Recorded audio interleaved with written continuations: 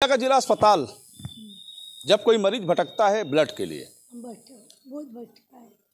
जब किसी माँ की कोई बेटी बेड पर जीवन और मौत से लड़ रही हो और वो माँ ब्लड के लिए दर दर भटक रही हो और उसको ब्लड न मिलता हो तो आप समझ सकते हैं एक माँ का दर्द। उस माँ का दर्द जो उसका बेटा सात साल पहले ब्लड के अभाव में दम तोड़ दिया। अब उसकी दूसरी बेटी जिला अस्पताल के वार्ड नंबर इमरजेंसी वार्ड में सत्रह नंबर बेड पर पड़ी है। बड़ा दर्द है, रो रही है कि कोई हमें ब्लड दे दे। एक व्यक्ति जब दूसरे काम से जिला अस्पताल के इमरजेंसी में पहुँचा तो ये ये माँ रो रही थी, वो दर्द नहीं देखा गया, और उसने तुरंत ब्लड बैंक में आके संपर्क किया। बहुत लंबी प्रक्रिया थी, ब्लड के ब्लड ब्लड के बदले ब्लड मिलेगा, लेकिन ब्लड की व्यवस्था नहीं हो पाई। बाद में एक व्यक्ति खुद अपना ब्लड दिया। उस व्यक्ति का नाम है बीर बहादुर। मैं उस व्यक्ति को बधाई देता हूँ। इस दर्द भरी, इस माँ का दर्द को सुना और ब्लड दिया। जबकि 12 बजे से लड़की भर्ती है और पाँच बजने जा रहे हैं। इतने घंटे तक ये दर दर भटकती रही। क्या नाम है? नूतन। क्या हो गया बेटी को? बेटी को ये शीत लग के बुखार। पहले भी इधर बढ़ती था डॉक्टर बोला खून नहीं है। पाँच पाँच दिन का बाद था फिर भी आया। अभी खून मगर खून नहीं है पैसा नहीं कहाँ से देगा बोले सबसे मदद टेलर का दिया हमको चिंता।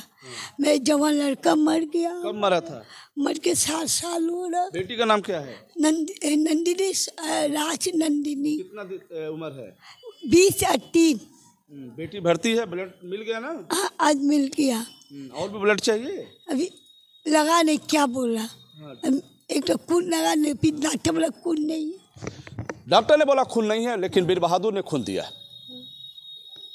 ये मामला अक्सर जिला अस्पताल में देखने को मिलता है। ब्लड बैंक में ब्लड जो भी आयोजन होते हैं बड़े बड़े संस्थाओं के आयोजन होते हैं रक्तदान शिविर होता है जिसमें जिला अधिकारी मंत्री विधायक सभी लोग शामिल होते हैं।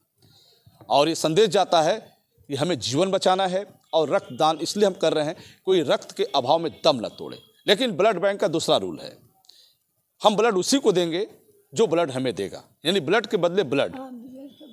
या फिर अगर इमरजेंसी में ऐसी कोई दिक्कत होती है तो उसमें अधिकारियों से लिखवाना पड़ता है। खासतौर पे सीएमएस से या फिर कोई चार्ज पे हो डॉक्टर। लेकिन सबसे बड़ी समस्या है जब कोई मरीज़ ब्लड के लिए दर दर भटकता है तो ना सीएमएस मिलते हैं और ना ही डॉक्टर। ऐसे में मरीजों के साथ जो गंभीर समस्याएँ बनी हैं, चलिए माना कि इस महिला को ब्लड की आवश्यकता है।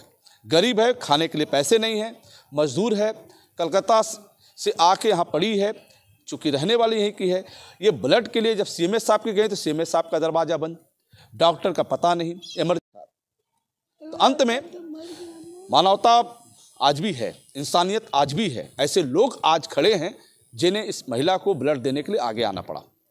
दोस्तों मेरा तो सरकार से और प्रशासन से यही निवेदन है कि इस तरह की अगर कोई पेशेंट कोई महिला गरीब हो अति गरीब हो परेशान हो उसकी परेशानी में हमें आपको शामिल होना पड़ेगा ताकि जीवन कैसे बचेगा।